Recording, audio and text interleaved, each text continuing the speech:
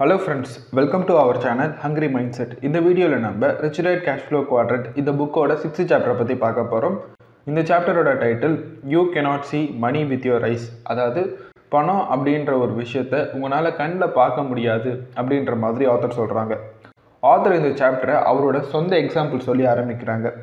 Nineteen seventy ஃபோரில் author அவரோட first investment ப்ராப்பர்ட்டியை வாங்குறாரு. வாங்கின உடனே இது ரொம்ப சந்தோஷமாக ரிச் டேட் கிட்ட சொல்லலான்னு போகிறாரு ரிச் டேட் வந்து இவர் வாங்கின ரேட்டு இவரோட டீலு இது எல்லாத்தையும் அனலைஸ் பண்ணி பார்த்துட்டு நீ ஒரு மாதத்துக்கு எவ்வளோ லூஸ் பண்ணிட்டு இருக்க அப்படின்னு கேட்குறாரு இதை கேட்ட உடனே ஆத்தர் கொஞ்சம் ஷாக் ஆகிட்டு நான் நூறு டாலர் லூஸ் பண்ணிட்டு இருக்கேன் அப்படின்னு சொல்கிறாரு ரிஸ்டர்டு வந்து நான் இன்னும் உன் பேப்பர்ஸை ஃபுல்லாக படிக்கல பட் கன்ஃபார்மாக எனக்கு தெரியும் நீ அதை விட அதிகமாக லூஸ் பண்ணிட்டு இருக்க அப்படின்னு சொல்கிறாரு யாருன்னா தெரிஞ்சே பணத்தை லூஸ் பண்ணுவாங்களா? அப்படின்னு சொல்லிட்டு ஆத்தர் கொஷின் பண்ணுறாரு ஆத்தர் வந்து எனக்கு அந்த வீடை பார்த்தோன்னே பிடிச்சி போச்சு. அந்த வீடை நான் வாங்கிட்டேன்னா எனக்கு வாடகையே கேஷ் ஃப்ளோ வரும். அது மட்டும் இல்லாமல் எனக்கு டேக்ஸ் பிரேக் கிடைக்கும் அப்படின்னு சொல்லிட்டு அவர் அந்த வீடை வாங்கினதுக்கான ரீசனை வந்து ஜஸ்டிஃபை பண்ண ஆரம்பிக்கிறாரு. இதை கேட்டோன்னே ரிச்சர்ட் கொஞ்சம் கடுப்பாயிட்டு நீ போய் கதவு சாத்திட்டு வா அப்படின்னு சொல்லிட்டு ஆத்தர்கிட்ட சொல்கிறாரு ஆத்தருக்கு இப்போ புரிஞ்சிடுச்சு.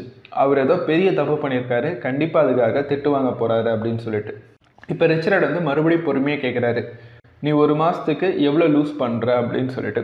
இந்த டைம் ஆத்தர் ரொம்ப பயந்துக்கிட்டே நான் நூறு டாலர் லூஸ் பண்ணுறேன் அப்படின்னு சொல்கிறாரு ரிச்சர்ட் அந்த டாக்குமெண்ட்டை ஃபுல்லாக படித்து பார்க்குறாரு இந்த ஒரு நாள் ஆத்தர் கற்றுக்கிட்ட லெசனை வந்து அவர் எப்படி சொல்கிறாருன்னா இந்த இருபத்தேழு வருஷம் ஆத்தர் பணத்தை பற்றி கற்றுக்கிட்டதை விட இந்த ஒரு நாள் அதிகமாக கற்றுக்கிட்டதா சொல்கிறாரு ரிச்சர்ட் என்னதான் ஆத்தர் மேலே கடுப்பாக இருந்தாலும் ஒரு பக்கம் சந்தோஷமாக இருக்கார். ஏன்னா அவர் கேட்ட விஷயங்களை அவர் வெறும் நாலேஜாக மட்டும் வச்சுக்காமல் அதை ப்ராக்டிக்கலாக அப்ளை பண்ணதுனால கொஞ்சம் சந்தோஷமாக இருக்கார். இப்போ ரிச்சர்ட் வந்து எக்ஸ்பிளைன் பண்ண ஆரம்பிக்கிறாரு. ஏன் இந்த டீல் வந்து நல்ல டீல் கிடையாது? அண்ட் எப்படி நம்ம ஒரு டீலை வந்து நல்ல டீலாக கெட்ட டீலாக அப்படின்னு கண்டுபிடிக்கிறதுன்னு சொல்லிட்டு. ரிச்சர்ட் சொல்கிற ஃபஸ்ட்டு பாயிண்ட் பார்த்தீங்கன்னா money is seen with your mind அதாவது பணம் அப்படின்ற ஒரு விஷயத்த நம்மளோட மைண்டில் தான் நம்ம பார்க்க முடியும். நம்ம கண்ணால் நம்ம பார்க்க முடியாது. ஒரு பீஸ் ஆஃப் ரியல் எஸ்டேட்டை நீங்கள் எடுத்துக்கிட்டிங்கன்னா அது வெறும் ஒரு ரியல் எஸ்டேட் மட்டும்தான். ஒரு கம்பெனியோட ஸ்டாக் சர்டிஃபிகேட் எடுத்திங்கன்னா அது அந்த கம்பெனியோட ஒரு பார்ட் ஆஃப் தி ஷேரோட சர்டிஃபிகேட் மட்டும்தான். பட் இந்த ப்ராப்பர்ட்டி ஆர் இந்த ஷேரோட வேல்யூ வந்து டிட்டர்மைன் பண்ணுறது நம்ம கண்ணால் பார்க்க முடியாத சில விஷயங்கள் தான். ஃபார் எக்ஸாம்பிள் ஒரு ரியல் எஸ்டேட் இருக்குன்னா அதோட லொக்கேஷன் நம் நம்ம எந்த அக்ரிமெண்ட்டில் அதை வாங்குகிறோம் எந்த ரேட்டில் அதை வாங்குகிறோம் அதே மாதிரி ஒரு கம்பெனியோட ஷேர் இருக்குது அப்படின்னா அந்த கம்பெனியோட இன்டென்சிக் வேல்யூ என்ன? இந்த மாதிரி நம்ம கண்ணுக்கு தெரியாத சில விஷயங்கள் தான் அதோட வேல்யூவை டிட்டர்மைன் பண்ணுது. ஸோ இதை சொல்லிட்ட உடனே ரிச்சர்ட் நெக்ஸ்ட்டு ஆத்தர் வாங்கின டீலை வந்து பார்ட் பார்ட்டாக பிரிக்கிறாரு. நீ இவ்வளோ அதிகமாக இன்ட்ரெஸ்ட் ரேட் கட்டுற? இது உன்னோட லாங் டேர்ம் ஃபினான்ஷியல் ஸ்ட்ராட்டஜிக்கு செட் ஆகுமா? நீ வேகன்சி ஃபேக்டரை கால்குலேட் பண்ணியா? இதுக்கு முன்னாடி இந்த இடத்துல யார் இருந்தாங்கன்னு உனக்கு தெரியுமா? அவங்க ஏன் இந்த இடத்த காலி பண்ணாங்க? இந்த இடத்துல கவர்மெண்ட் வந்து ரோடை பெருசாக்க போகிறாங்களே அந்த ப்ராஜெக்டை பற்றி உனக்கு தெரியுமா? அதனால் நிறைய பேர் இந்த இடத்த காலி பண்ணிட்டு போயிட்டு இருக்காங்க. ரிச்சர்ட் மட்டும் சர மாதிரியே கொஷின் பேக்க ஆரம்பிச்சிட்டாரு. ஸோ இதெல்லாம் கேட்ட உடனே ஆத்தருக்கு ஒன்றுமே புரியல. மறுபடியும் ஆத்தர் என்ன சொல்கிறாருன்னா அது நல்ல டீல் அதனால தான் நான் வாங்கினேன் அப்படின்ற மாதிரி சொல்கிறாரு ஸோ உடனே ரிச்சர்ட் வந்து நம்ம என்ன சொன்னாலும் இவன் கேட்குற மைண்ட் செட்டில் இல்லை அப்படின்னு சொல்லிட்டு நீ வாங்கினதே எனக்கு சந்தோஷம். நீ ஆக்ஷன் எடுத்ததே நல்ல விஷயம் அப்படின்னு சொல்லிட்டு கை கொடுக்குறாரு. உன்னோட தப்பில் இருந்தால் நீ கற்றுக்க முடியும் அப்படின்னு சொல்கிறாரு ஸோ இதை கேட்ட உடனே ஆத்தர் கொஞ்சம் ஃபீல் ஆகிட்டு சரி அவர் என்ன தான் சொல்கிறாருன்னு கேட்கலாம் அப்படின்னு சொல்லிட்டு கேட்குறாரு ஸோ இப்போ ரிச்சர்ட் வந்து எக்ஸ்பிளைன் பண்ண ஆரம்பிக்கிறாரு. நிறைய இன்வெஸ்டர்ஸ் வந்து அவங்க ஒரு வீடு வாங்கினாலும் சரி இல்லை ஒரு ஸ்டாக் வாங்கினாலும் சரி அந்த வீடோட லொக்கேஷன் ஆர் அந்த கம்பெனியோட ப்ரைஸ் அப்படின்னு சொல்லிட்டு அதோட பேரை மட்டும் பார்த்து வாங்குவாங்க. அதாவது எமோஷ்னலாக வாங்குவாங்களே தவிர்த்து ரேஷ்னலாக யோசிக்க மாட்டாங்க. அதனால தான் பத்தில் ஒம்பது இன்வெஸ்டர் வந்து பணமே மேக் பண்ண மாட்டுறாங்க. ஒரு இடத்துல மேக் பண்ணாலும் இன்னொரு இடத்துல லூஸ் பண்ணிவிட்டு ஒரு ஆவரேஜாகவே போயிட்டு இருக்காங்க. இவங்க எல்லாருமே பார்த்தீங்கன்னா அவங்க கண்ணால் பார்க்குற விஷயங்களை வச்சு இன்வெஸ்ட் பண்ணுறாங்க அவங்களோட மைண்டால் அவங்க இன்வெஸ்ட் பண்ண மாட்டுறாங்க. ஸோ இதை கேட்ட உடனே ஆத்தருக்கு ஆப்வியஸாக ஒரு டவுட் வருது. எப்படி ஒரு விஷயத்த நம்மளோட மைண்டால் நம்ம பார்க்கறது அப்படின்னு கேட்குறாரு ஸோ ரிச்சர்ட் வந்து ஆத்தரோட டீலியே இதுக்கு ஒரு எக்ஸாம்பிளாக கொடுக்குறாரு. ஆத்தர் வந்து ஒரு ப்ராப்பர்ட்டியை வாங்கணும் அப்படின்னு சொல்லிட்டு ஃபிஃப்டி சிக்ஸ் தௌசண்ட் டாலர்ஸ் கட்டிட்டு மீதி அமௌண்ட்டை வந்து டவுன் பேமெண்ட்டாக போட்டிருக்காரு. இந்த டீலில் ரிச்சர்ட் என்ன சொல்கிறாருன்னா உன்னோட இன்ட்ரெஸ்ட் ரேட்டை நீ நெகோஷியேட் பண்ணணும். பேமெண்ட் டேர்ம்ஸை நீ மாற்றணும் அதுக்கப்புறமா அமௌட்டரைசேஷன் பீரியடை மாற்றணும் இத்தனை வருஷம் கழித்து ஒரு ப்ராப்பர்ட்டியோ ஒரு பணமோ வந்து அதோட மதிப்பு வந்து இழக்கும். அது எவ்வளோ வருஷம் அப்படின்றது தான் அமோட்டரைசேஷன் பீரியட் ஸோ ஆத்தர் வந்து அவரோட இன்ட்ரெஸ்ட் ரேட்டை நெகோஷியேட் பண்ணுறாரு அவரோட ஏஜென்ட் வந்து ஒத்துக்கவே இல்லை. ஆத்தர் ரொம்ப ட்ரை பண்ணி இன்ட்ரெஸ்ட் ரேட்டை வந்து கொஞ்சம் கம்மி பண்ணுறாரு அதுக்கப்புறமா பேமெண்ட் டேர்ம்ஸ் பார்த்தீங்கன்னா ஃபஸ்ட்டு ஆத்தர் வந்து பதினஞ்சு வருஷத்துக்கு போட்டிருந்தாரு. அதுக்கப்புறமா அதை முப்பது வருஷத்துக்கு மாற்றிட்டார் அப்படி மாற்றும் போது அவருக்கு இன்ட்ரெஸ்ட் கம்மியாயிடுச்சு. சேம் சேம் டைம் வந்து இன்ஃப்ளேஷன்னால் பணம் வேல்யூ அதிகமாகிட்டே இருக்கும். ஸோ ஒரு பத்து வருஷம் இருபது வருஷம் கழித்து பார்க்கும்போது அவர் ரொம்ப கம்மியான காசு தான் கட்டுற மாதிரி இருக்கும். ஃபார் எக்ஸாம்பிள் நம்ம ஒரு வீடு வாங்கியிருக்கோம் முப்பது வருஷம் டென்ஷர் போட்டிருக்கோம். மாதம் மாதம் பத்தாயிரம் கட்டிகிட்டு இருக்கோம்னா இன்றைக்கி அந்த பத்தாயிரம் பெருசாக தெரியும். பட் ஒரு பத்து வருஷம் கழித்து பார்க்கும்போது அந்த பத்தாயிரரூபாவோட மதிப்பு வந்து கம்மியாக இருக்கும். ஸோ நம்ம பத்தாயிரம் அன்றைக்கி கட்டும்போது அது நம்மளுக்கு ஒரு சின்ன வேல்யூவாக தெரியும். ஸோ இதெல்லாம் அவர் சேஞ்ச் பண்ண உடனே அந்த ப்ராப்பர்ட்டிலேருந்து அவருக்கு நெட் ப்ராஃபிட்டாக எயிட்டி டாலர்ஸ் கிடைக்குது. அதாவது அவர் செலவெல்லாம் போக மிச்சம் அவருக்கு எயிட்டி டாலர்ஸ் கிடைக்குது. இதுக்கு முன்னாடி இந்த ப்ராப்பர்ட்டிலேருந்து அவர் நூறு டாலர் எழுந்துட்டு இருந்தார். பட் பட் ஒரு சின்ன சின்ன ட்வீக்ஸ் பண்ணதுனால இப்போ அந்த ப்ராப்பர்ட்டிலேருந்து அவர் எண்பது டாலர் சம்பாரிச்சிட்ருக்காரு ஸோ இந்த விஷயத்த செஞ்சு முடிச்சதுக்கப்புறமா ரிச்சர்ட் மறுபடி கேட்குறாரு சப்போஸ் உன்னோட டீலை வந்து நீ அப்படியே விட்டுருந்தனா உனக்கு எவ்வளோ லாஸ் ஆகிருக்கும் அப்படின்னு சொல்லிட்டு எனக்கு மாதம் நூற்றி ஐம்பது டாலர் கண்ணுக்கு தெரியாமல் போயிருக்கும் அப்படின்ற மாதிரி சொல்கிறாரு உடனே ரிச்சர்ட் வந்து பாயிண்ட் பண்ணி சொல்கிறாரு நீ மாதம் மாதம் நூற்றி ஐம்பது டாலர் லூஸ் பண்ணிகிட்ருக்கேன்னா எப்படி உன்னால் இந்த மாதிரி வேறு வேறு டீல்ஸை எடுக்க முடியும்? நீ எடுக்க எடுக்க இன்னும் அதிகமாக பணம் இழந்துட்டு தான் இருப்ப. இந்த எண்பது டாலர் கேஷ் ஃப்ளோ வச்சு உன்னால் இந்த மாதிரி எத்தனை டீல்ஸை வாங்க முடியும் அப்படின்ற மாதிரி கேட்குறாரு உடனே ஆத்தர் சிரிச்சுக்கிட்டு நான் எவ்வளோ வேணால் வாங்கலாம் அப்படின்ற மாதிரி சொல்கிறாரு இந்த ப்ரொசீஜரில் ஆத்தர் ஃபேஸ் பண்ண ரொம்ப முக்கியமான ஒரு விஷயம் பார்த்தீங்கன்னா அவரோட ஏஜென்ட்டை அவர் கன்வின்ஸ் பண்ணுறது தான் ஆத்தரோட ஏஜென்ட் கிட்ட அவர் இந்த விஷயத்தெல்லாம் சொல்லும்போது அவரோட ஏஜென்ட் வந்து ஒத்துக்கவே இல்லை. உங்களால் அந்த விஷயத்தை இங்கே செய்ய முடியாது. இந்த நாட்டில் அது செட் ஆகாது அப்படின்னு சொல்லிட்டு ஏதாவது ஒரு ரீசன் சொல்லிட்டு அதை டெஃபினேட் பண்ணிகிட்டே இருந்தார். பட் ஆத்தர் அவரோட பாயிண்ட் ஆஃப் வியூ புரிஞ்சுக்கிட்டு இதை செய்யறதுனால உங்களுக்கு எந்த பிரச்சனையும் வராது. நான் உங்களோட கமிஷனில் கையை வைக்கவே இல்லை. உங்களுக்கு ஃபுல் கமிஷன் வந்துடும் அது மட்டும் இல்லாமல் அந்த ப்ராப்பர்ட்டியோட ரேட்டையும் நான் மாற்றலை அதனால் செல்லர்கிட்ட உங்களுக்கு எந்த கெட்ட பேரும் கிடையாது. எனக்கு தேவைலாம் இன்ட்ரெஸ்ட் ரேட்டை சேஞ்ச் பண்ணணும் அமௌட்டரைசேஷன் பீரியடை சேஞ்ச் பண்ணணும். இந்த ரெண்டு விஷயத்த உங்களோட சைடில் இருந்தே உங்களால் பண்ண முடியும்.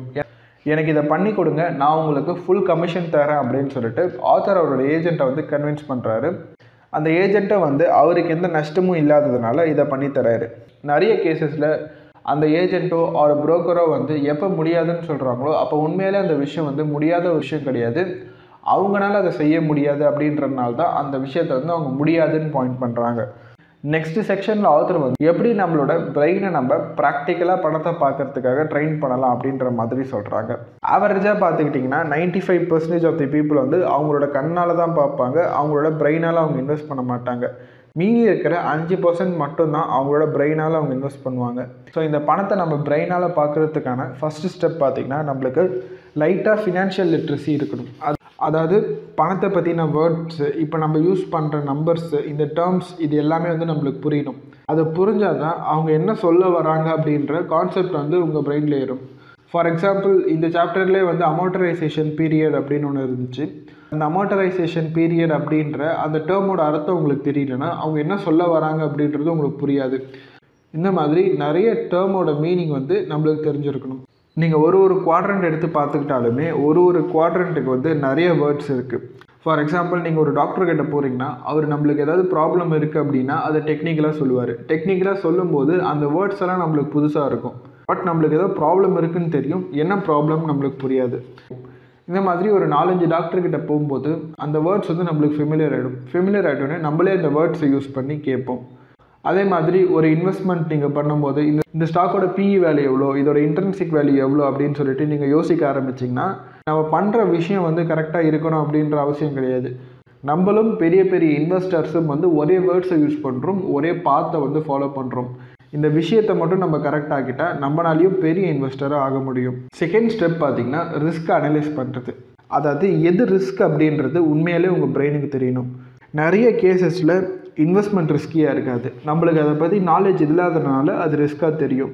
இந்த மாதிரி நம்மளோட எக்ஸ்பீரியன்ஸ் கூட அந்த இன்வெஸ்ட்மெண்ட்டை நம்ம கம்பேர் பண்ணி பார்த்துட்டு உண்மையாலே அந்த இன்வெஸ்ட்மெண்ட் ரிஸ்கியாக ஆர் நம்மளுக்கு நாலேஜ் இல்லாதனால அது ரிஸ்கியாக தெரியுதா அப்படின்னு சொல்லிட்டு அனலைஸ் பண்ணிவிட்டு அதுக்கு தேவையான நாலேஜை நம்ம அக்வயர் பண்ணிவிட்டு அதுக்கப்புறமா அந்த இன்வெஸ்ட்மெண்ட்டை திரும்ப அனலைஸ் பண்ணி பார்க்கணும். தேர்ட் ஒன் பார்த்தீங்கன்னா அடுத்தவங்க கொடுக்குற ஃபினான்ஷியல் அட்வைஸை நம்ம எடுத்துக்கலாமா வேணாமா அப்படின்ற மாதிரி ஆத்தர் சொல்கிறாங்க ஜென்ரலி நம்மளுக்கு ஒன்றுமே தெரியலனா கண்டிப்பாக நம்ம அடுத்தவங்களை டிபெண்ட் பண்ணி தான் இருக்கணும் பட் அப்படி இல்லாமல் நம்மளே சில விஷயங்களை கற்றுக்கிட்டு நம்மளே சில விஷயத்தை அனலைஸ் பண்ணி நம்மளோட ஓன் ஃபினான்ஷியல் டிசிஷன்ஸை எடுக்கிறோன்னா நம்மளால் அந்த மிஸ்டேக்கில் இருந்து கொஞ்சம் விஷயங்களை கற்றுக்க முடியும். நம்ம இதையே கண்டினியூ பண்ணோம்னா கொஞ்சம் வருஷம் கழித்து நம்மளோட எக்ஸ்பீரியன்ஸை வச்சு நம்மளால் எது வந்து கரெக்டான அட்வைஸ் எது வந்து தப்பான அட்வைஸ் அப்படின்னு சொல்லிட்டு பிரித்து பார்க்க முடியும். நம்மளால் எப்போ அப்படி பிரித்து பார்க்க முடியுதோ அப்போ நம்ம ஒரு ரொம்ப பெரிய ரிஸ்க்கை வந்து எலிமினேட் பண்ணுறோம் ஃபார் எக்ஸாம்பிள் பணம் மரத்தில் காய்க்கல அப்படின்னு சொல்லிட்டு நம்ம அப்பா அம்மாவோ சொந்தக்காரங்களோ யாராவது ஒரு ஆள் ஒரு தடவையாவது நம்ம கிட்ட சொல்லியிருப்பாங்க. இது ஒரு தப்பான ஃபினான்ஷியல் அட்வைஸ் உங்களுக்கு ஃபினான்ஷியல் நாலேஜ் இருக்குது அப்படின்னா நீங்கள் இந்த அட்வைஸை நம்பாமல் உங்களால் இதை வந்து பிரித்து பார்க்க முடியும். இது தப்பான அட்வைஸ் இதை நம்பக்கூடாது அப்படின்னு சொல்லிட்டு. ஆர் உங்களுக்கு ஃபினான்ஷியல் நாலேஜ் அதிகமாக இருக்குன்னா பணத்தை எப்படி மரத்தில் காய்க்க வைக்கிறதுன்னு உங்களுக்கு தெரியும். ரெண்டு கேசஸ்லையுமே பார்த்தீங்கன்னா இது ஒரு தப்பான அட்வைஸ் தான். உங்களோட ஃபினான்ஷியல் நாலேஜோட லெவலை பொறுத்து உங்களால் இந்த அட்வைஸை வந்து பிரித்து பார்க்க முடியும். ஃபோர்த் ஒன் வந்து நம்ம எந்த அளவுக்கு நாலேஜபிளாக இருக்கோமோ நம்மளோட இன்வெஸ்டர் அந்த அளவுக்கு அவங்க நாலேஜை வந்து வெளியே கொண்டு வருவாங்க. ஃபார் எக்ஸாம்பிள் அவங்க சொல்கிற விஷயங்கள்லாம் நம்மளுக்கு ஈஸியாக புரியுது. அவங்க சொல்கிற கான்செப்டை நம்மளால் அண்டர்ஸ்டாண்ட் பண்ணிக்க முடியுதுன்னா நம்மளுக்கு அவங்க இன்னும் நிறைய கான்செப்டை சொல்லுவாங்க நம்மளுக்கு இன்னும் நிறைய ரூட் காமிப்பாங்க. பட் அவங்க சொல்கிற சின்ன விஷயங்களே நம்மளால் புரிஞ்சிக்க முடியல அப்படின்னா அவங்க வந்து இருக்கிறதுல பேசிக்கான ஒரு விஷயத்த மட்டும்தான் நம்மளுக்கு எக்ஸ்பிளைன் பண்ணுவாங்க. ரொம்ப டீப்பான விஷயங்களை வந்து எக்ஸ்பிளைன் பண்ண மாட்டாங்க. ஏன்னா பண்ணால் நம்மளுக்கு புரியாதுன்னு சொல்லிட்டு அவங்க டைம் அவங்க வேஸ்ட் பண்ணிகிட்டு இருக்க மாட்டாங்க. அதனால தான் பணத்தை பற்றின ஃபினான்ஷியல் லிட்ரஸி வந்து நம்மளுக்கு இருந்தால் தான் அவங்க சொல்கிற விஷயங்களை நம்ம புரிஞ்சிக்க முடியும். அடுத்தவங்களோட பாயிண்ட் ஆஃப் வியூ நம்ம அனலைஸ் பண்ணி பார்த்தோம்னா நம்மளுக்கு அதில் இருந்து நிறைய நாலேஜ் கிடைக்கும். அதுக்கு நம்ம கொஞ்சம் ஃபினான்ஷியலி லிட்ரேட்டாக இருக்கணும். சிக்ஸ்த் ஒன் பார்த்தீங்கன்னா be a bank not a banker அப்படின்ற மாதிரி ரிச் டேட் சொல்கிறாரு அதாவது நம்மளோட லைஃப்பில் நம்ம ஒரு பேங்க்காக இருக்கணும். பேங்கராக இருக்கக்கூடாது. பேங்க் அப்படின்னா அவங்களோட இன்வெஸ்ட்மெண்ட்டை அவங்க தரவாக அனலைஸ் பண்ணி எந்த இடத்துல காசு போட்டால் அவங்க காசு மல்டிப்ளை ஆகுமோ அந்த இடத்த பார்த்து போடுவாங்க. அதுவே பேங்கர் அப்படின்னா அவங்க நம்மக்கிட்ட நிறைய விஷயங்களை சொல்லி முக்கால்வாசி டைமில் பார்த்தீங்கன்னா அவங்க சொல்கிறது வந்து உண்மையாக தான் இருக்கும். ஆனால் பாதி உண்மையாக இருக்கும். அந்த பாதி உண்மையை வச்சு நம்மளை நிறைய விஷயங்களை செய்ய வைப்பாங்க. அப்படி செய்கிறதுனால அந்த பேங்கருக்கு எந்த விதமான லாபமும் கிடையாது. பட் அந்த பேங்க்குக்கு நிறைய லாபம் இருக்குது நம்ம ஃபினான்ஷியலி லிட்ரேட்டாக இல்லைன்னா இந்த மாதிரி யாராவது ஒரு ஆளோட அட்வைஸை நம்ம ட்ரஸ்ட் பண்ணி தான் ஆகணும். ஸோ நம்மளோட ஃபினான்ஷியல் நாலேஜை நம்ம கொஞ்சம் வளர்த்துக்கிட்டோம்னா இவங்களோட இன்ஃப்ளூயன்ஸில் இருந்து நம்மளால் கொஞ்சம் வெளியே வர முடியும். ஸோ நிறைய கேசஸில் பேங்கர் வந்து பாதி உண்மை தான் சொல்கிறாங்க அதோட பெஸ்ட் எக்ஸாம்பிள் பார்த்தீங்கன்னா உங்களோட வீடு தான் உங்களோட பெரிய சொத்து. இந்த டைலாகை எல்லா பேங்கருமே கண்டிப்பாக ஒரு தடவையாவது சொல்லியிருப்பாங்க. நம்ம இதை பேலன்ஸ் ஷீட்டில் எடுத்து பார்த்தோம்னா இந்த வீடை வச்சு நம்மளுக்கு காசு வந்துச்சுன்னா அது உண்மையாலே ஒரு அசட் தான். பட் அதுக்கு பதிலாக அந்த வீட்னால ஒரு பார்ட் ஆஃப் இன்கம் நம்ம கிட்டேருந்து போயிட்டுருக்கு அப்படின்னா அது ஒரு லைபிலிட்டி நீங்கள் பேலன்ஸ் ஷீட்டில் பார்க்கும்போது நீங்கள் கட்டுற மார்டேஜ் பேமெண்ட் வந்து உங்கள் லைபிலிட்டியில் வரும். அதுவே பேங்க்கோட பேலன்ஸ் ஷீட் எடுத்து பார்த்தா நம்ம கட்டுற மார்டேஜ் வந்து அவங்களோட அசட்டில் வரும். ஏன்னா நம்ம கட்டுற அமௌண்ட் வந்து அவங்களுக்கு கேஷ் ஃப்ளோ ப்ரொவைட் பண்ணுது. நீங்கள் பேங்க்குக்கு மாதம் மாதம் பத்தாயிரரூபா கொடுக்குறீங்கன்னா பேங்க்குக்கு பத்தாயிரரூபா மாதம் மாதம் இன்கம் வந்துக்கிட்டே இருக்குது அது ஒரு கேஷ் ஃப்ளோ மாதிரி தான் இந்த மாதிரி ஒரு பேலன்ஸ் ஷீட்டை நம்ம எடுத்து பார்த்தாலுமே அதுக்கு ரெண்டு பக்கம் இருக்குது நம்மளோட பேலன்ஸ் ஷீட் இருக்குது பேங்க்கோட பேலன்ஸ் ஷீட் இருக்குது இது ரெண்டுத்தையும் நம்ம எடுத்து அனலைஸ் பண்ணி பார்க்கும்போது தான் அது உண்மையிலே அசர்ட்டா இல்லை லைபிலிட்டியா அப்படின்னு தெரியும். இப்போ வீடு அப்படின்றது உண்மையிலே ஒரு அசர்ட் தான். அது நம்மளோட அசர்ட் கிடையாது பேங்க்கோட அசர்ட் இந்த விஷயங்களை தான் பேங்கர் வந்து மறைச்சி நம்மக்கிட்ட பாதி உண்மையாக சொல்கிறாங்க சப்போஸ் என்னோட மார்டேஜ் நான் கட்டிட்டா என் வீடு அசர்ட்டாக மாறிடுமா அப்படின்னு நீங்கள் யோசிச்சிங்கன்னா தப்பு. அப்பயும் அந்த வீடு வந்து ஒரு லைபிலிட்டி தான். அந்த வீட்டுக்கான மெயின்டெனன்ஸ் நம்ம கொடுத்தாகணும். அது மட்டும் இல்லாமல் அந்த வீட்டுக்கான குறைஞ்சபட்ச செலவு வந்து நம்ம மாதம் மாதம் செஞ்சாகணும். ஸோ மாதம் மாதம் நம்ம பாக்கெட்லேருந்து பணம் போயிட்டே இருக்குது அப்படி போயிட்டே இருந்தால் அது ஒரு லைபிலிட்டி அந்த வீட்டுனால நம்மளோட செலவை விட அதிகமாக நம்மளுக்கு ஒரு இன்கம் வருது அப்படின்னா அப்போ அது வந்து அசட்டாக மாறிடும். இதை இன்னும் கொஞ்சம் போய் டீப்பாக அனலைஸ் பண்ணி பார்த்தீங்கன்னா நிறைய கண்ட்ரீஸில் நம்ம ப்ராப்பர்ட்டி டேக்ஸ் கட்டல அப்படின்னா நம்மளோட ப்ராப்பர்ட்டியை கவர்மெண்ட் எடுத்துக்கும். அது எப்படி நம்மளோட ப்ராப்பர்ட்டியை கவர்மெண்ட் எடுக்க முடியும்? நம்ம தானே காசு போட்டு அதை வாங்கி வச்சுருக்கோம். ப்ராப்பர்ட்டி டேக்ஸ் கட்டல அப்படின்னா அதுக்கு ஏதாவது பெனால்ட்டி இருந்தால் ஓகே எப்படி ஃபுல் ப்ராப்பர்ட்டியை எடுக்க முடியும்? நிறைய கண்ட்ரீஸில் வந்து இந்த விஷயம் நடக்குது. அது மட்டும் இல்லாமல் நீங்கள் ப்ராப்பர்ட்டி டேக்ஸ் பல வருஷமாக கட்டாமல் இருக்கீங்க. யாருன்னா ஒரு ஆள் முன் வந்து அந்த ப்ராப்பர்ட்டி டேக்ஸை கட்டுறாங்க அப்படின்னா அந்த ப்ராப்பர்ட்டி வந்து அவங்களுக்கு சொந்தம். இதை கொஞ்சம் டீப்பாக அனலைஸ் பண்ணி பார்த்தீங்கன்னா ஒரு ப்ராப்பர்ட்டியை வந்து அவங்க விலை கொடுத்து வாங்காமல் அந்த ப்ராப்பர்ட்டிக்கான கட்டாமல் விட்ட டேக்ஸை கட்டுறது மூலமாக அந்த ப்ராப்பர்ட்டி வந்து அவங்களுக்கு சொந்தமாயிடுது. கவர்மெண்ட் எப்படி இதை பண்ணலாம் அப்படின்ற டவுட் உங்களுக்கு வந்துருச்சுன்னா நீங்கள் ரியல் எஸ்டேட்டோட உண்மையான மீனிங்கை தெரிஞ்சுக்கணும். ஃபார் எக்ஸாம்பிள் மார்டேஜ் அப்படின்னா அக்ரிமெண்ட் டில் டெத் ஃபைனான்ஸ் அப்படின்னா பெனால்ட்டி ஸோ ரியல் எஸ்டேட் அப்படின்றதே முதல்ல இங்கிலீஷ் வார்த்தை கிடையாது. அது வந்து ஒரு ஸ்பானிஷ் வார்த்தை. ஸ்பானிஷில் ரியல் அப்படின்னா ராயல் அர்த்தம். ஸோ ரியல் எஸ்டேட் அப்படின்னா ராயல் எஸ்டேட் ஸோ ராயல் அப்படின்றது யாரை சொல்லுவாங்கன்னா கிங்ஸ் அண்ட் குயின்ஸ் ஆர் அந்த கண்ட்ரியை வந்து ஆள்றவங்களை வந்து சொல்லுவாங்க. ஸோ ஒரு ஆயிரத்தி ஐநூறு வருஷங்களுக்கு முன்னாடி அக்ராரியன் ஏஜ் வந்து முடிவுக்கு வந்துட்டு அதுக்கப்புறமா இண்டஸ்ட்ரியல் ஏஜ் வந்து ஆரம்பிச்சது. அப்போ பவர் வந்து லேண்ட் அண்ட் அக்ரிகல்ச்சரில் இருந்து இண்டஸ்ட்ரிக்கு வந்து ஷிஃப்ட் ஆச்சு. அதாவது அக்ராரியன் ஏஜில் வந்து லேண்ட் அக்ரிகல்ச்சர் யார் அதிகமாக லேண்ட் வச்சுருக்காங்க யார் அது அதிகமாக அக்ரிகல்ச்சர் பண்ணுறாங்களோ அவங்க தான் வந்து பெரிய ஆள் அப்படின்ற மாதிரி கன்சிடர் பண்ணாங்க. இண்டஸ்ட்ரியல் ஏஜில் வந்து யார் நிறைய ஃபேக்ட்ரி வச்சுருக்காங்களோ அவங்க தான் பெரிய ஆள் அப்படின்ற மாதிரி கன்சிடர் பண்ணாங்க. அந்த இடத்துல லேண்டோட முக்கியத்துவம் வந்து கொஞ்சம் கம்மியாச்சு. இந்த லேண்டை ஓன் பண்ணுறவங்க யாருன்னு பார்த்தீங்கன்னா kings and queens ruling party தான் வந்து இதை ஓன் பண்ணுவாங்க. ஸோ லேண்டே இல்லாமல் ஒருத்தவங்க பவர்ஃபுல்லாக மாற முடியும்னா அங்கே அவங்களுக்கான முக்கியத்துவம் கம்மியாகிற மாதிரி அவங்க ஃபீல் பண்ணாங்க.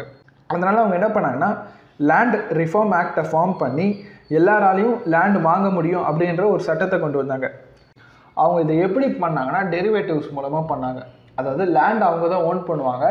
அந்த லேண்டை வந்து டெம்பரவரியாக மக்களுக்கு விற்று அதுலேருந்து ஒரு டேக்ஸ் வாங்குவாங்க. ஸோ இது மூலமாக தான் ப்ராப்பர்ட்டி டேக்ஸ் வந்து உருவாச்சு. ஸோ இந்த இடத்துல பார்த்தீங்கன்னா டேக்ஸாக இருக்கட்டும் ஆர் மார்டேஜாக இருக்கட்டும் இது ரெண்டுமே வந்து லேண்டோட டெரிவேட்டிவ் இந்த ரெண்டு விஷயம் வந்து கிடையவே கிடையாது. லேண்டை பேஸ் பண்ணி இந்த ரெண்டு விஷயங்களை வந்து உருவாக்கியிருக்காங்க. ஸோ இந்த மார்டேஜ் அப்படின்றது நம்மளோட பேங்கர் வந்து இது ஒரு டெரிவேட்டிவ்னு சொல்லவே மாட்டாங்க. அவங்க எப்போவுமே என்ன சொல்லுவாங்கன்னா பேக்கப்புக்கு உங்களோட லேண்ட் இருக்குது அப்படின்னு சொல்லுவாங்க. எப்போ லேண்ட்லேருந்து வர இன்கம்மை விட இந்த டெரிவேட்டிவ்லேருந்து வர இன்கம் அதிகமாச்சோ அப்போ தான் வந்து ராயல்ட்டிஸ் வந்து பேங்க்கே செட் பண்ணாங்க. ஏன்னா இந்த இன்கம்லாம் மேனேஜ் பண்ணணும் அப்படின்றதுக்காக. இன்றைக்குமே லேண்ட் வந்து ஒரு ரியல் எஸ்டேட்டாக தான் இருக்குது அதாவது ராயல் எஸ்டேட்டாக தான் இருக்குது நம்ம என்ன தான் அதுக்காக பணம் கட்டினாலும் நம்மளால் அதை வந்து முழுமையாக சொந்தம் கொண்டாட முடியாது. ஃபார் எக்ஸாம்பிள் நீங்கள் ப்ராப்பர்ட்டி டேக்ஸை கட்டாமல் விட்டிங்கன்னா கவர்மெண்ட் உங்கள் லேண்டை ஜப்தி பண்ணுறதுக்கான வாய்ப்பு அதிகம். ஆர் ஏதாவது ஒரு முக்கியமான கவர்மெண்ட் ப்ராஜெக்ட் உங்கள் ஏரியாவில் வருதுன்னா உங்களோட பெர்மிஷனே இல்லாமல் கூட கவர்மெண்ட்னால உங்களோட லேண்டை பிடுங்கிக்க முடியும். ஸோ இதுதான் வந்து ரியல் எஸ்டேட்டுக்கு பின்னாடி இருக்கிற உண்மையான டெஃபினிஷன்ஸ் இதே மாதிரி இன்ட்ரெஸ்ட் ரேட்டுக்கு பின்னாடியும் ஒரு விஷயம் இருக்குது நிறைய இடத்துல பார்த்தீங்கன்னா நம்மளோட பேங்கர்ஸ் வந்து நம்மளோட இன்ட்ரெஸ்ட் ரேட் வந்து ஒரு வருஷத்துக்கு எட்டு பர்சன்ட் அப்படின்னு சொல்லுவாங்க. ஃபார் எக்ஸாம்பிள் நம்ம ஹவுசிங் லோன் எடுக்கிறோம்னா சிக்ஸ் பாயிண்ட் ஃபைவ் பர்சன்ட்லேருந்து எயிட் பர்சன்ட் அப்படின்னு சொல்லுவாங்க. இப்போ நம்ம ஒரு பத்து லட்சத்துக்கு லோன் எடுக்கிறோம் அப்படின்னா ரெண்டு லட்சம் வந்து ஃபஸ்ட்டு கட்டுறோம். மீதி எட்டு லட்சத்தை வந்து தேர்ட்டி இயர்ஸ் டவுன் பேமெண்ட்டில் கட்டுறோம் அப்படின்னா இந்த முப்பது வருஷத்தில் பார்த்தீங்கன்னா நம்ம ஒரு லட்சம் கிட்ட இன்ட்ரெஸ்ட் கட்டுவோம். ஒரு ஒரு வருஷமும் வந்து ஐம்பத்தி மூணாயிரம் அறுபத்தி மூணாயிரம் அப்படின்னு சொல்லிட்டு நம்ம இன்ட்ரெஸ்ட் கட்டிக்கிட்டே இருப்போம். நம்ம டோட்டலாக பார்க்கும்போது ஒன்று முப்பது கிட்ட இன்ட்ரெஸ்ட் கட்டுவோம். நம்ம வாங்குற எட்டு லட்ச ரூபாய்க்கு நம்ம எட்டு பர்சன்ட் இன்ட்ரெஸ்ட் போட்டு பார்த்தோம்னா இந்த கணக்கு வராது. இது ஆவரேஜாக போட்டு பார்க்கும்போது ஒரு நூற்றி அறுபது பர்சன்ட்டில் வரும். ஏற்கனவே சொன்ன மாதிரி தான் நம்மளோட பேங்கர் நம்மக்கிட்ட வந்து முழு உண்மையாக சொல்ல மாட்டாங்க. நம்மக்கிட்ட எது சொல்லணுமோ அதை மட்டும்தான் அவங்க சொல்கிறாங்க ஸோ இதுதான் வந்து இன்ட்ரெஸ்ட் ரேட்டுக்கு பின்னாடி உள்ள விஷயம். ஸோ அதே மாதிரி இந்த மார்ட்ரேஜ் இன்ட்ரெஸ்ட் ரேட்டு இதெல்லாம் வந்து நம்ம கொஞ்சம் ப்ராக்டிக்கலாக அனலிஸ் பண்ணி பார்த்தோன்னா இப்போ நம்ம ஒரு ஆளுக்கு வந்து கடன் தரோம் எட்டு லட்ச ரூபாய் கடன் தரோன்னா நம்ம முப்பது வருஷம் வெயிட் பண்ணி அந்த கடனை வாங்குவோம். அதுக்கு முன்னாடியே அந்த காசை எப்படி எடுக்கலாம் அப்படின்னு தானே பார்ப்போம். அப்போ அதே விஷயங்கள் தானே பேங்க்கும் செய்யும். ஏன்னா பேங்க்கில் வந்து இதை கொஞ்சம் இன்டெரக்டாக செய்கிறாங்க பேங்க்கில் பார்த்தீங்கன்னா இண்டஸ்ட்ரி ஆவரேஜ் அப்படின்ற ஒரு விஷயத்த ஃபாலோ பண்ணுவாங்க. எந்த கடன் கொடுத்தாலும் சரி ஏழு வருஷத்துக்குள்ளே அவங்க போட்ட காசை எடுக்கணும்னு பார்ப்பாங்க. ஃபார் எக்ஸாம்பிள் எட்டு லட்ச ரூபாய் கடன் தராங்க அப்படின்னா அவங்க அதை ஃபஸ்ட்டு ஏழு வருஷத்துக்குள்ளே எடுக்கணும்னு நினைப்பாங்க. ப்ளஸ் அந்த ஏழு வருஷத்துக்கான வட்டியும் சேர்த்து எடுக்கணும்னு நினைப்பாங்க. இதனால தான் அவங்களோட இன்ட்ரெஸ்ட் ரேட் வந்து கொஞ்சம் ஹிடனாக வச்சு அதிகமாக வருது. அண்ட் மார்டேஜ் அப்படின்ற வேர்டு வந்து மோர்டீர் அப்படின்ற ஃப்ரெஞ்சு வேர்ட்லேருந்து டிரைவ் ஆயிருக்கு. மோர்டீரோட மீனிங் பார்த்திங்கன்னா அக்ரிமெண்ட் டில் டெத் அவங்க சாகிற வரைக்கும் ஒரு ஒரு பெரிய வீடு மாறி மாறி அதுக்கான லோனை வந்து கட்டிக்கிட்டே இருப்பாங்க. இது எல்லாத்துக்கும் மேலே நம்ம பெரிய பெரிய வீட்டுக்கு வந்து கவர்மெண்ட் வந்து டேக்ஸ் பிரேக் ப்ரொவைட் பண்ணுவாங்க. அப்படி பண்ணால் தான் டேக்ஸுக்கு ஆசைப்பட்டு நம்ம பெரிய வீடு வாங்குவோம். அந்த விட்ட காசை வந்து கவர்மெண்ட் வந்து ப்ராப்பர்ட்டி டேக்ஸில் பிடிச்சிருவாங்க. முக்கால்வாசி கேசஸில் பார்த்தீங்கன்னா எந்த விஷயங்கள்லாம் நம்மள மிகப்பெரிய கடனாளி ஆக்குமோ அந்த விஷயங்களுக்குள்ள மட்டும்தான் கவர்மெண்ட் வந்து டேக்ஸ் பிரேக் கொடுப்பாங்க. ஸோ இதுதான் வந்து ரியல் எஸ்டேட் மார்டேஜ் இதுக்கு பின்னாடி இருக்கிற சில விஷயங்கள். அடுத்தது பார்த்திங்கன்னா நம்ம பணம் அதிகமாக சேவ் பண்ணுவோம். சேவ் பண்ணுறது உண்மையாலே நம்மளோட அசர்ட்டா அப்படின்னு கேட்டிங்கன்னா நம்ம சேவ் பண்ணுற பணம் வந்து ஒரு சின்ன இன்ட்ரெஸ்ட் மூலமாக நம்மளுக்கு கேஷ் ஃப்ளோ ஜென்ரேட் பண்ணும். ஸோ டெக்னிக்கலாக பார்க்கும்போது அது நம்மளுக்கு அசட் தான். அந்த கேஷ் ஃப்ளோ ஆர் அந்த இன்ட்ரெஸ்ட்டை கொடுக்கறது யாருன்னு பார்த்தீங்கன்னா பேங்க் அப்போ பேங்க்கோட பாயிண்ட் ஆஃப் வியூவில் அது ஒரு லைபிலிட்டி நம்மளோட பாயிண்ட் ஆஃப் வியூவில் அது வந்து ஒரு அசட் இந்த பேலன்ஸ் ஷீட்டை இன்னும் கொஞ்சம் டீட்டெயிலாக அனலைஸ் பண்ணி பார்க்கும்போது இதில் ஃப்ராக்ஷனல் ரிசர்வ் அப்படின்ற ஒரு கான்செப்ட் இருக்குது இந்த விஷயங்களை பற்றி ஆத்தர் புக்கில் சொல்லலை. ஃப்ராக்ஷனல் ரிசர்வ் அப்படின்னா அதாவது நம்ம வச்சுக்கிற அமௌண்ட்டை விட அதிகமான மதிப்பை வந்து பேங்க்கு கடனாக தரலாம். இப்போ நம்ம பத்து ரூபா போடுறோன்னா பேங்க்குனால அதை பத்து மடங்கு மல்டிப்ளை பண்ண முடியும். நூறுரூபா அந்த நூறுரூபாவில் நம்ம போட்ட பத்து ரூபாவை மட்டும் அது தனியாக எடுத்து வச்சிரும். மீதி உள்ள தொண்ணூறுரூபா அதாவது அவங்க கிரியேட் பண்ண தொண்ணூறுரூபா வந்து பேங்க்கு கடனாக கொடுத்து அது மூலமாக காசு சம்பாதிக்கலாம். இது பேர் வந்து ஃப்ராக்ஷனல் ரிசர்வ் அப்படின்னு சொல்லுவாங்க. எதிகளாகவே பேங்க்குனால் ஒரு ரூபா போட்டால் பத்து ரூபா பிரிண்ட் பண்ண முடியும். அந்த ஒரு ரூபாய்க்கான வட்டி மட்டும்தான் நம்மளுக்கு வரும். மீதி ஒம்பது ரூபாய்க்கான வட்டி வந்து பேங்க்கோட லாபமாக போகும். ஸோ பேங்க்கில் நம்ம காசு போட்டாலுமே அது பேங்க்குக்கு பெரிய அட்வான்டேஜ் ஏன்னா ஃப்ராக்ஷனல் ரிசர்வ் மூலமாக சப்போஸ் நம்ம பேங்க்லேருந்து காசு எடுத்துட்டோம். இல்லை பேங்க்லேருந்து நம்ம கடன் வாங்கிட்டோம் அப்படின்னா நம்ம கடனுக்கு நம்மளே வட்டி கட்டணும். அதுவுமே பேங்க்குக்கு அட்வான்டேஜ் தான். ஸோ இந்த இடத்துல பேங்க்கை பார்த்தீங்கன்னா அது ரெண்டு இடத்துலையுமே அட்வான்டேஜாக இருக்கட்டும். காசு போட்டாலும் பேங்க்குக்கு அட்வான்டேஜ் தான். காசை எடுத்து கடன் வாங்கினாலும் பேங்க்குக்கு அட்வான்டேஜ் தான். ஸோ அதனால தான் பேங்க் வந்து கவர்மெண்ட் மூலமாக டேக்ஸ் சேவிங் ஸ்கீம்ஸை வந்து அனௌன்ஸ் பண்ணி மக்களை வந்து இந்த டேக்ஸை சேவ் பண்ணுறதுக்காக பெரிய பெரிய வீடை வாங்க வச்சு அவங்கள கடனாளி ஆக்குறாங்க கடனாளி ஆக்கும்போது அவங்களுக்கு கிடைக்கிற இன்ட்ரெஸ்ட் வந்து அவங்களுக்கு லாபம். ஒரு வீடு வாங்குறதுக்காக ஒருத்தவங்க காசு சேர்த்து வச்சுட்ருக்காங்கன்னா ஃப்ராக்ஷனல் ரிசர்வ் மூலமாக அவங்க சேர்த்து வைக்கிற காசுலேருந்து இவங்களுக்கு லாபம் கிடைக்கும். ஸோ இதுதான் வந்து பேங்க்கில் நடக்கிற சில விஷயங்கள். ஸோ ரிச்சர்ட் வந்து இந்த மொத்த மணி விஷயங்களை வந்து ஒரு கேம் மாதிரி சொல்கிறாரு அதாவது யார் யாருக்கு கடன் பட்டிருக்காங்க? அதுதான் இந்த மொத்த கேமுமே நம்மளுக்கு நிறைய பேர் கடன் பட்டிருந்தாங்க அப்படின்னா நம்ம பணக்காரன் ஆகிட்டே போவோம். நம்ம நிறைய பேருக்கு கடன் பட்டிருக்கோம் அப்படின்னா நம்ம கம்மியாயிட்டே போவோம் சப்போஸ் நம்ம கிட்ட நிறைய கடன் இருக்கு அப்படின்னா இந்த உலகம் வந்து நம்ம கிட்ட இருந்து எல்லாத்தையுமே எடுத்துக்கும். நம்மளோட டைமு நம்மளோட ஒர்க்கு நம்மளோட வீடு. அதுவே நம்ம கிட்ட நிறைய பேர் கடன் பட்டிருக்காங்க அப்படின்னா அந்த விஷயங்கள் மூலமாக நம்மளுக்கு கேஷ் ஃப்ளோ கிடைக்கும். நம்ம வந்து பணக்காரன் ஆகிட்டே போடலாம். இந்த கரன்சி அப்படின்றதே வந்து ஒரு டெப்ட் தான். ஸோ ரிச்சர்ட் வந்து மணியே ஒரு டெப்ட் அப்படின்ற மாதிரி சொல்கிறாரு இந்த கரன்சி வந்து ஒரு டெப்ட் தான். ஸ்டார்டிங்கில் இந்த கரன்சி பார்த்தீங்கன்னா கோல்டுனாலேயோ இல்லை சில்வர்னாலேயோ வந்து பேக் பண்ணியிருப்பாங்க அதாவது ஒரு டாலருக்கு வந்து இவ்வளோ கிராம்ஸ் ஆஃப் கோல்டு இருக்கும். ஆர் ஒரு ரூபாய்க்கு வந்து இவ்வளோ மில்லி கிராம்ஸ் ஆஃப் கோல்டு வந்து ஈக்குவலண்ட் அப்படின்னு சொல்லுவாங்க. நைன்டீன் செவன்ட்டி ஒனில் நிக்சன் வந்து இந்த கோல்டு ஸ்டாண்டர்டை யூஎஸ் டாலரில் வந்து ரிமூவ் பண்ணார். அதுக்கப்புறமா எந்தெந்த கண்ட்ரி வந்து யூஎஸ் டாலரை வந்து ரிசர்வ் கரன்சியாக வச்சுருந்தாங்களோ அவங்களுமே வந்து அவங்களோட கரன்சியிலேருந்து கோல்டு ஸ்டாண்டர்டை ரிமூவ் பண்ண ஆரம்பிச்சிட்டாங்க. கோல்டு ஸ்டாண்டர்டை ரிமூவ் பண்ண உடனே கவர்மெண்ட்னால அவங்க இஷ்டத்துக்கு அவங்களால பணத்தை பிரிண்ட் பண்ண முடியும். ஸோ கோல்டு ஸ்டாண்டர்டை ரிமூவ் பண்ண உடனே கவர்மெண்ட்டை தடுத்து நிறுத்துறதுக்கு எதுவுமே கிடையாது. கவர்மெண்ட்னால அவங்க நினச்ச வேல்யூவுக்கு அவங்களால கரன்சியை வந்து பிரிண்ட் பண்ண முடியும். ஸோ இந்த காசு தான் வந்து ஃபியட் மணி அப்படின்னு சொல்லுவாங்க. இந்த பணத்தை வந்து ஈக்குவலண்ட்டாக நம்ம எது கூடயுமே கன்வெர்ட் பண்ண முடியாது. ஒரு ஒரு கவர்மெண்ட் மேலே இருக்கிற ட்ரஸ்ட்டுனால இந்த பணம் வந்து இன்னும் புழக்கத்தில் இருக்குது ஸோ ரிச்சர்ட் வந்து இதை சொல்லி முடிச்சுட்டு அடுத்தது சப்போஸ் இன் கேஸ் நீ லைஃப்பில் வந்து கடன் படுற ரிஸ்க் எடுக்கிற அப்படின்னா அதுக்கான ரிவார்டு உனக்கு கண்டிப்பாக கிடைக்கிற மாதிரி பார்த்துக்கோ எல்லா டைமுமே எல்லாருமே நம்மளுக்கு கடன் பட்டிருக்க மாட்டாங்க. சில டைம் நம்ம அடுத்தவங்களுக்கு கடன் பண்ணுற மாதிரியான சுச்சுவேஷன்ஸ் வரும். அந்த டைமில் நம்ம எடுக்கிற கடனுக்கும் ரிஸ்க்குக்கும் வந்து நம்மளுக்கு ரிவார்டு கிடைக்கணும் அப்படின்ற மாதிரி ரிச்சர்ட் சொல்கிறாரு ஸோ இதுக்கு வந்து ரிச்சர்ட் மறுபடியும் ஆத்தரோட ப்ராப்பர்ட்டி எக்ஸாம்பிளை கொண்டு வராரு. நீ ஐம்பத்தி ஆறாயிரம் டாலர் கொடுத்து ஒரு வீடை வாங்குற அப்படின்னா உன்னோட ஏஜென்ட் வந்து உனக்கு டேக்ஸ் பிரேக் கிடைக்கும் அதை வாங்குன்னு சொல்லுவான். அதாவது உன்னை கடனுக்குள்ளே வந்து தள்ள பார்ப்பான். உன்னோட கவர்மெண்ட் வந்து நீ இந்த வீடை வாங்கினா உனக்கு டேக்ஸ் பிரேக் கொடுப்பேன்னு சொல்லி ஆசை காட்டுவாங்க. உன்னோட கவர்மெண்ட்டும் உன்னை வந்து கடனுக்குள்ளே தள்ள பார்ப்பாங்க. ஏன்னா இங்கே ஆடுற கேமே வந்து யார் யாருக்கு கடன் பட்டிருக்காங்கன்னு தான். ஸோ நீ உன்னோட கவர்மெண்ட்டுக்கும் ஆர் நீ ஒரு ஏஜென்சிக்கும் கடன் பட்டிருந்த அப்படின்னா உன்னால் அவங்க லாபம் சம்பாதிப்பாங்க. ஸோ உன்னை வச்சு பணம் சம்பாதிக்க தான் அவங்க பார்ப்பாங்களே தவிர்த்து உனக்கு நல்லது செய்யணும்னு அவங்க யோசிக்க மாட்டாங்க அப்படின்ற மாதிரி ரிச்சர்ட் சொல்கிறாரு ஸோ ரிச்சர்ட் இவ்வளோ விஷயம் சொன்னதுக்கப்புறம் தான் ஆத்தர் வந்து உண்மையிலே ஃபீல் பண்ணுறாரு அவர் பண்ணது எவ்வளோ பெரிய தப்பு அப்படின்னு சொல்லிட்டு. ஸோ ரிச்சர்ட் ஆத்தருக்கு கொடுக்குற ஒரு கோல்டன் அட்வைஸ் பார்த்தீங்கன்னா நீ ஒரு கடன் எடுக்கிறேன்னா அதை சின்னதாக எடுக்கிற பாரு. சப்போஸ் அந்த கடன் பெருசாக இருக்குன்னா அந்த கடனுக்காக வேறு ஒருத்தவங்களை பே பண்ணுற மாதிரி பண்ணணும். இந்த விஷயத்த நோட் பண்ணிக்கோங்க. இதை எப்படி பண்ணலாம் அப்படின்றத வரப்போகிற சாப்டரில் ஆத்தர் சொல்கிறாங்க ஸோ இதுதான் வந்து ஆத்தர் இந்த சாப்டரில் சொல்லியிருக்க விஷயம். ஆத்தர் இந்த சாப்டர் எப்படி கன்க்ளூட் பண்ணுறாங்கன்னா மணி அப்படின்றது ஒரு ஐடியா அந்த விஷயத்த வந்து நம்மளால் மைண்டில் தான் பார்க்க முடியும். நம்மளால் கண்ணில் பார்க்க முடியாது அப்படின்னு சொல்கிறாங்க ஸோ ஆத்தர் ஜென்ரலாக இந்த சாப்டரில் எப்படி நம்மளோட பிரெயினை பணத்தை பார்க்கறதுக்காக ட்ரெயின் பண்ணலாம் அப்படின்ற மாதிரி சொல்லியிருக்காங்க. இந்த விஷயங்களை தெரிஞ்சுக்கோங்க. இந்த விஷயங்களை ட்ரை பண்ணி பாருங்கள் இதில் ஏதாவது டவுட் இருக்குது அப்படின்னா கீழே கமெண்ட்டில் சொல்லுங்கள் Thank you. Thank you for your time. Have a great day.